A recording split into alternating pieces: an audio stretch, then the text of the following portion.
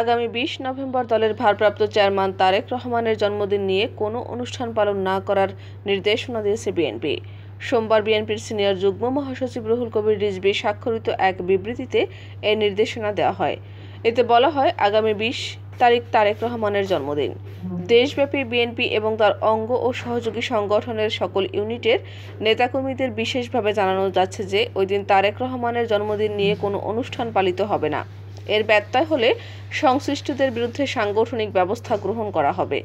প্রসঙ্গত, বিএনপির ভারপ্রাপ্ত চেয়ারম্যান তারেক রহমান দু হাজার আট সালের এগারো সেপ্টেম্বর লন্ডনের উদ্দেশ্যে ঢাকা ছাড়েন পরিবারের সদস্যদের সঙ্গে নিয়ে।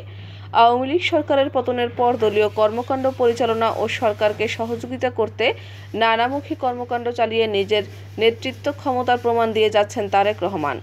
দীর্ঘ আন্দোলন সংগ্রামে নেতৃত্ব দিয়ে আসা এই নেতা নীরবে অনেকটা গোপনে আরও কিছু কাজ করে আসছেন, যা কখনো সামনে আসেনি। তিনি নিজেও এসব কাজ প্রকাশ্যে আনতে চান না। বিএনপি স্থানীয় নেতাকর্মীদের অনেকে জানেন না তারেক রহমান সরাসরি এসব কর্মকাণ্ড চালাচ্ছেন। আমরা বিএনপি পরিবারের আহ্বায়ক আতিকুর রহমান রুমন বলেন, বিএনপির ভারপ্রাপ্ত চেয়ারম্যান তারেক রহমান রাজনৈতিক কর্মকাণ্ডের বাইরে অনেক মানবিক কাজ করে আসছেন। তিনি চান না এসব প্রকাশ্যে আসুক। গোপনে, নীরবে তিনি এসব কর্মকাণ্ড পরিচালনা করেন। যারা সাহায্য বা সহযোগিতা পাচ্ছে তারাও জানতে পারেন না এটি তারেক রহমান করছেন। তারা মনে করেন বিএনপি বা নেতাকর্মীরা তাকে সহযোগিতা করছেন। দলের ভারপ্রাপ্ত চেয়ারম্যানের এসব কর্মকাণ্ড আমাদেরও উৎসাহিত করে মানুষের পাশে দাঁড়ানোর। তারেক রহমানের ঘনিষ্ঠ সূত্র বলছে, আত্মতৃপ্তির জন্যই তিনি এসব কাজ করে যাচ্ছেন। অসহায় অনেক পরিবারের পুরো দায়িত্ব রয়েছে তারেক রহমানের কাঁধে। তার তত্ত্বাবধানে পরিচালিত হয় মাদ্রাসা হাসপাতাল। নিজ উদ্যোগেই এগুলোর খরচ বহন করছেন তিনি। বিএনপির পাশাপাশি এসব কর্মকাণ্ড জিয়াউর রহমান ফাউন্ডেশন এবং আমরা বিএনপি পরিবারের মাধ্যমে পরিচালিত হচ্ছে। প্রথমে বৃদ্ধ এবং এতিম এমন পঁচিশটি পরিবারের দায়িত্ব নেন তারেক রহমান।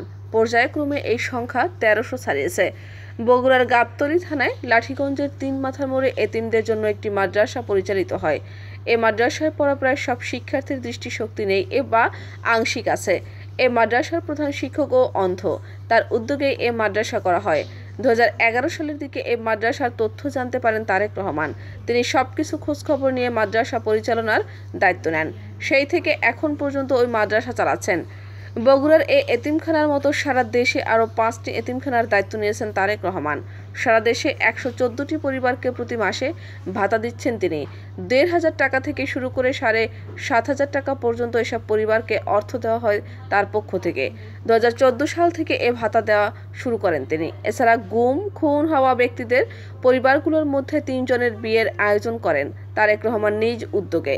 ফেনী, বগুড়া ও সাতক্ষীরায় এ তিন বিয়ের আয়োজন হয়। অসহায় পরিবারকে নিজের উদ্যোগে ঘর নির্মাণ করে দিয়েছেন বিভিন্ন এলাকায়।